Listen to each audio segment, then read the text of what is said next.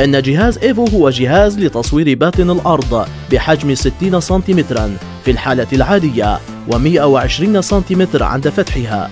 إن جهاز إيفو السهل الاستخدام والتي تملك ساق قابلة للتمديد وتملك تكنولوجيا من النظام الذكي القادر على تجميع نفسها بنفسها عند الرغبة في إغلاقها. عند التقاء جهاز إيفو يجب أن تغطي أصابع الخنصر والبنصر والوسطى القبضة وأن تكون السبابة على زر start. يجب أن يكون طاقم أزرار الإيفو باتجاهكم.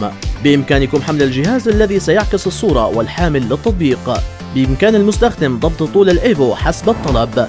بإمكانكم تشغيل أو إلغاء تشغيل الجهاز من خلال الضغط على زر الطاقة من لائحة أزرار جهاز إيفو. بإمكاننا اختيار وضع البحث المرغوب من لائحة أزرار الإيفو الأوتوماتيكي اليدوي أو البحث الحي. يتم استخدام الزر الأحمر الموجود في لائحة الأزرار المكتوب عليه زر العودة من أجل إلغاء الوضع الأوتوماتيكي أو اليدوي أو البحث الحي. عند اختيار الوضع الأوتوماتيكي يقوم الجهاز بنقل البيانات بشكل مباشر من دون الحاجة إلى الضغط على أي زر. نقوم بالبدء بالبحث الثاني من الطرف الأيسر. عند انتهاء عدد نبض الإشارة المختارة ضمن البحث الثاني نقوم بالتنقل إلى الطرف الأيسر مرة أخرى ونقوم بالبدء بالبحث الثالث. بإمكانكم القيام بالبحث بشكل متعرج أو متوازن حسب الرغبة. يجب ضبط جهاز الإيفو بشكل مستقيم حين وضعها على الوضع اليدوي والتأكد من عدم تحريكها. يجب عدم رفع وتنزيل جهاز الإيفو عند كل تلقي للإشارة.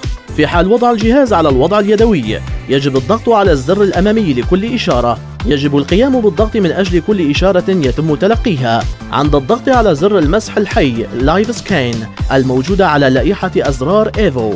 بإمكاننا رؤية صورة المكان المراد البحث فيه على التطبيق بشكل مباشر من دون الحاجة إلى البحث خطوة بخطوة. لا تنسوا بأن جهاز إيفو أكثر من أن يكون مجرد جهاز للبحث عن المعادن الصغيرة كالليرات الذهبية.